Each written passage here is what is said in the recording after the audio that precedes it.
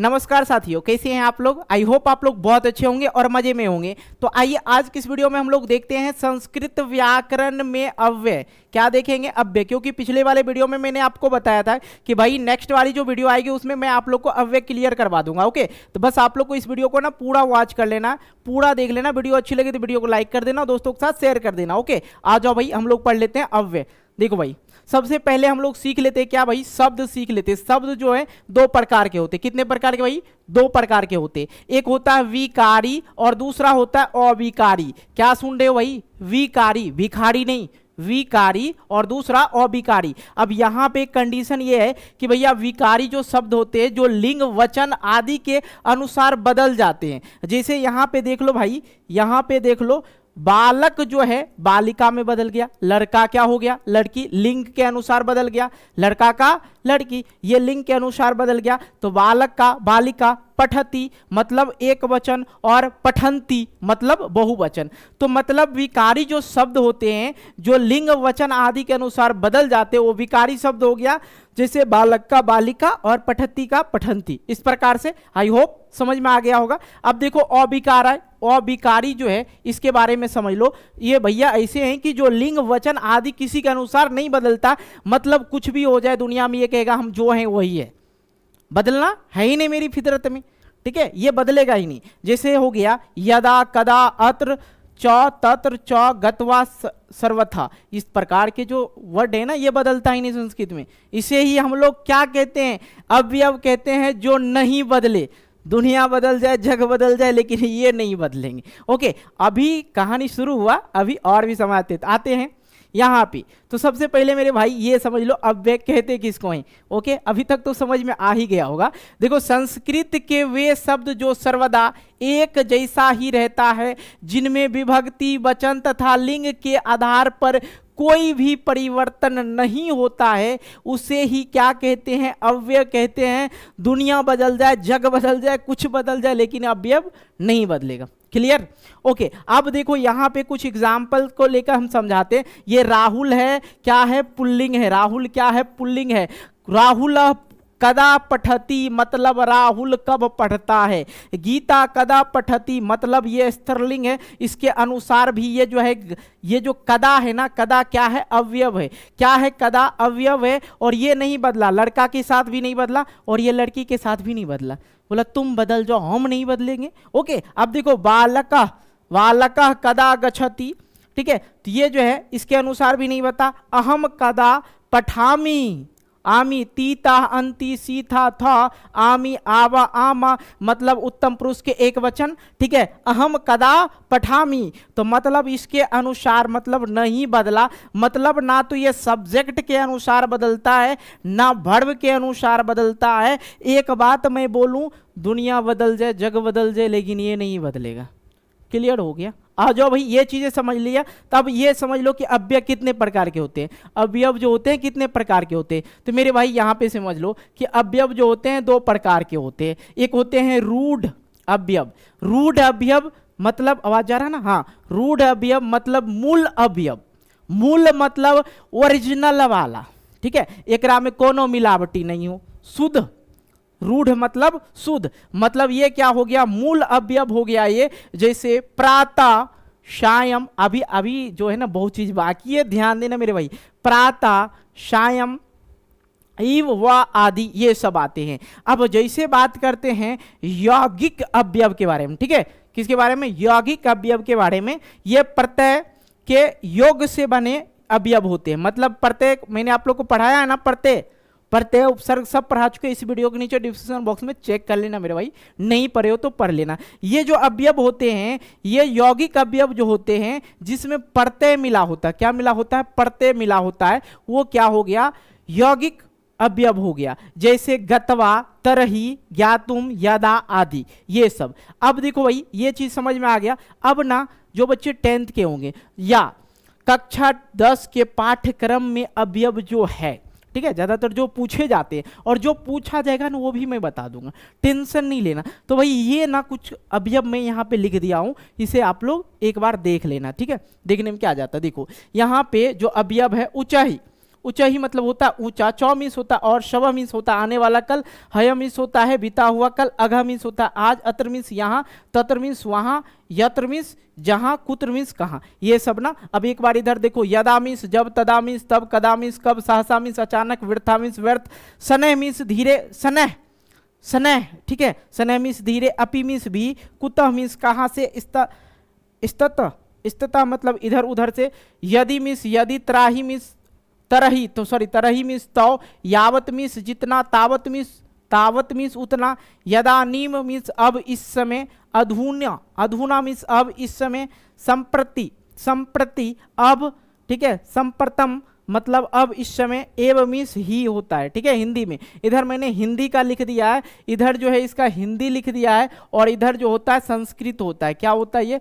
संस्कृत होता है, ठीक है? तो एक और हो गया, ये तो हो गया, एक और दे दिया हूँ, ठीक है? देखो ये सब ना पूछा जाता है, पुनः मीन्स फिर, ठीक है, अंत मीन्स भीतर, बाह्य मीन्स बाहर नीचा मीन्स नीचे, प्रातः मीन्स सुबह सायम मीन्स श्याम काला मतलब श्याम काला मतलब हो गया शाम का समय, चिरम मीन्स देर तक, तृष्ण मीन्स चुप, वाह्य मीन्स बाहर वीना मीन्स वीना मीन्स बीना, ठीक है? नाना मीन्स अनेका, अलम मीन्स बस पर्याप्त, अध मीन्स नीचे, समय मीन्स समय मीन्स पास, साकम मीन्स साथ, नम मीन्स प्रणाम, मा मीन्स मत, पूरा मीन्स पहले, ये सब जो है उदाहरण है कक्षा दसवीं के अवयव के, ठीक है? नूतन मिस निश्चय, चेत मिस आदि, व मिस या विकल्प, खुल मिस निश्चय यथ मिस प्रारंभ, इति मिस समाप्ति ठीक है? इब मीन्स समान, यथा मीन्स जैसे, तथा मीन्स वैसे। ओके, अभी क्या हुआ? अभी कुछ नहीं हुआ। ये सब तो बच्चों के लिए था, जो बच्चे याद करना चाहे याद कर ले। लेकिन इसको वाक्य में कैसे ले जाएँगे प्रभु, वो तो बताइए। आइए। आइए, हम इसको वाक्य में लेके आपको बताते हैं। उच्च मीन्स मैंने आपको बताया ना कि ऊँचे होता है। ठीक है? ऊँचा या ज़ोर से। सिंह ऊँचा ही गर्जती मतलब सिंह जो है, ऊँचा मतलब क्या होता है? ज़ोर से ज़ोर से दहाड़ता है। सिंह ज़ोर से दहाड़ता है, ठीक है? अब देखो, यहाँ पे चौ मीन्स मैंने बताया, और। क्या बताया? और। तो चौ जो लगता है, जैसे यहाँ पे है, श्यामा मोहन चौ, इसका मतलब हुआ श्याम और मोहन, ठीक है? प्रतिदिनम मतलब प्रतिदिन, अभ्यासम, अभ्यास, कुरत मतलब कुर, क्रूता क्रूता मतलब करते हैं। मतलब इसको पढ़ें, अगर हिंदी में श्याम मोहन चौ प्रतिदिन मतलब श्याम और मोहन प्रतिदिन अभ्यास करते हैं। नेक्स्ट आ जाता है स्व स्व मिस होता है सुधा, स्व जयपुरम गमिष्यति, सुधा कल जयपुर जाएगी। ठीक है? अब देखो यहाँ पे है हया हया मिस होता होता बीता हुआ कल। मम भराता हया मुंबई नागरात नगरात सॉरी नगरात, जिसको नगर बोलते नगरात, आगता मतलब मम भराता, मेरे भाई कल मुंबई से आया। ठीक है? मुंबई से आया। अब देखो, यहाँ पे अगमिस होता है आज अगमिस होता है आज आज अहम विद्यालय ना गमिष्यति गमिष्य क्या लिखा भाई? गमिष्यामी। ठीक है?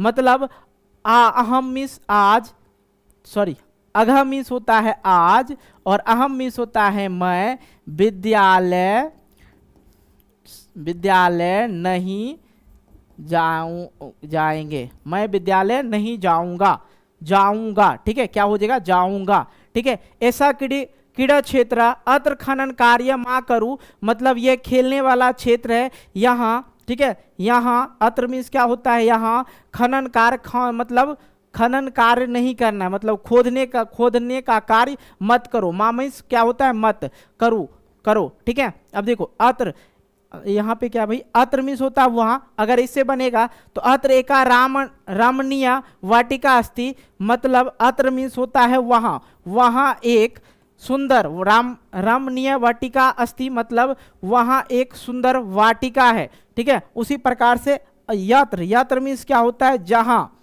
यत्र मीन्स क्या होता है? जहाँ नार्यस्तु नार्यस्तु पूजनते, रमनते तत्र देवता मतलब जहाँ नारी का पूजा होता है, वहाँ देवता का वास होता है।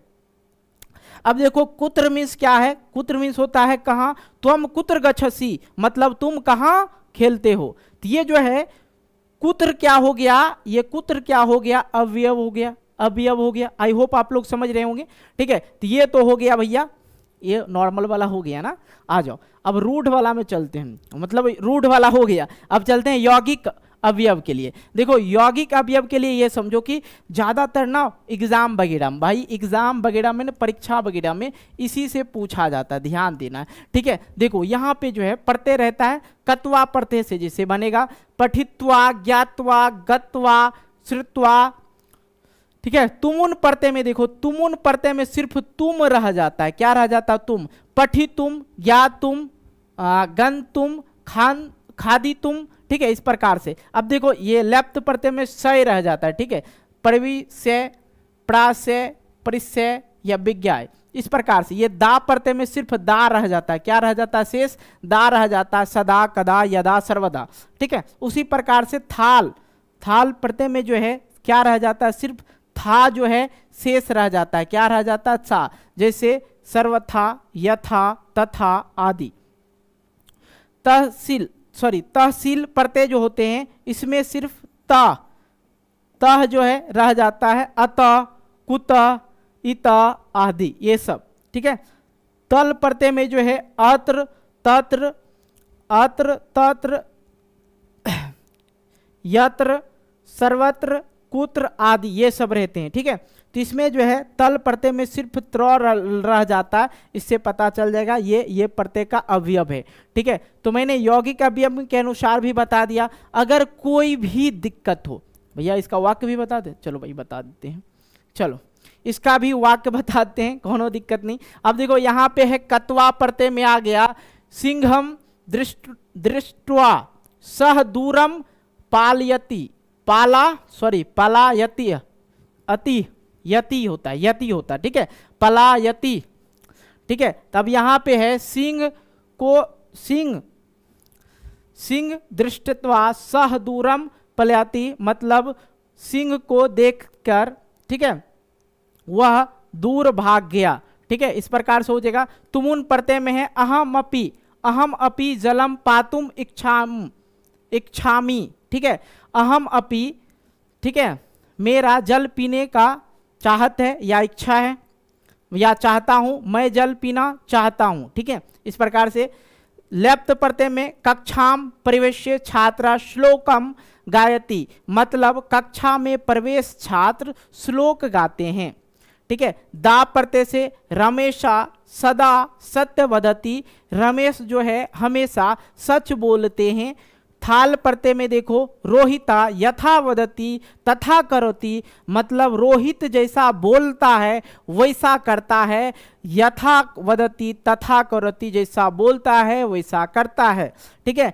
तहसील प्रत्यय में मोहन से गृह इत इत बहुदूरम अस्ति मतलब मोहन का घर यहाँ से, यत हमीस यहाँ से, बहुदूरम मतलब बहुत दूर है, ओके? तल पढ़ते से देखो, यत्र यत्र सुधाया गृहम अस्ति, जहाँ, यत्र मिस जहाँ सुधाया गृहम अस्ति मतलब जहाँ सुधा का घर है, तत्र तत्र, वहाँ एक एक मतलब एक विशाला मतलब विशाल वट वृक्ष वट वृक्ष है अस्तिमिस है। तो यहाँ पर पढ़ेंगे, जहाँ सुधा का घर है, वहाँ एक विशाल वट वृक्ष है। ओके, इस प्रकार से। अब देखो भाई, इसमें कौन कौन से जो हैं अवयव हो जाएँगे। देखो दृष्ट दृष्ट दृष्टवा, तत्वा, इसको बोलने में नहीं हो रहा, उच्चारण थोड़ा इग्नोर करना मेरे भाई, ठीक है? पातुम, ये सब क्या हो गया? अवयव हो गया, अवयव हो गया। अब देखो, प्राविश्य, ये भी अवयव हो गया सदा भी अवयव हो गया, यथा भी हो गया, तथा भी हो गया, ठीक है? मोहन गृह, इत भी हो गया, इत अत्र भी हो गया, यहाँ पे तत्र भी हो गया, ये सब जो है, क्या हो गया? अवयव हो गया। तो आई होप आप लोग समझ ही गए होंगे। ठीक? ए, तेरी के। तो ये जो है, आप लोग समझ में आ गया होगा, आप लोग को कहीं कोई दिक्कत नहीं हुआ होगा। ये सारी चीज़ें आप लोग को समझा दिए। कोनो दिक्कत, समस्या प्रॉब्लम कमेंट बॉक्स कमेंट करो। ओके भाई तो मैंने जितना मुझे लगा कि आप लोग के लिए महत्वपूर्ण है, वो सभी चीज़ें बता दिया। आई होप अगर आप लोग को समझ में आ गया होगा, तब फट भी कोनो चीज़ दिमाग में चल रहा है तो कमेंट बॉक्स पड़ा हुआ है कमेंट कर दीजिएगा। बाकी वीडियो कैसा लगा कमेंट करके ज़रूर बताना। तो आप लोग बहुत ज़्यादा कंजूसी करते हो मेरे भाई लाइक करने में तो लाइक कर देना ओके मिलते एक नए वीडियो को लेके, तब तक के लिए बाय जय हिंद, जय भारत।